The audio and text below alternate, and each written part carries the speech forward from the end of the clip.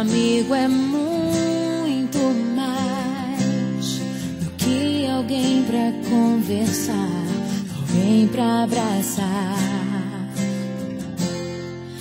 Amigo é uma benção